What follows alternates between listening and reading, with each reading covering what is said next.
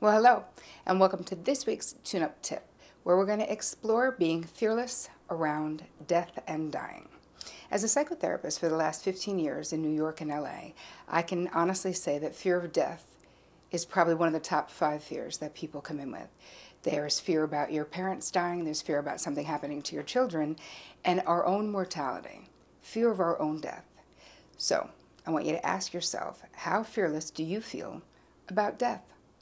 And how much have you explored it?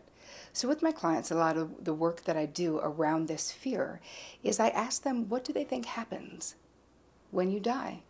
And I also call it transitioning, which really annoys my sister. She's like, why do you call it transitioning? It's death. Well, I guess it reflects what I believe. But the question is, what do you believe happens to you after you die? Really think about that.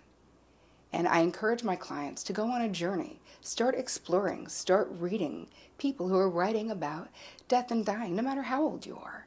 You don't have to wait until you're diagnosed with something or someone dies, which most of us do anyway, but you don't have to, in order to really figure out your feelings and your thoughts about death and dying. And again, being fearless about death just means letting your fear inform you but not letting it totally dominate you, not letting your mafia mind make you hysterical about death, because it can. So I want to encourage you to take this journey yourself and start to really get dialed into what you think happens. Read, get illuminated about this, talk to other people. There's tons of people who do this for a living, hospice workers. They are very, very well schooled about death and dying.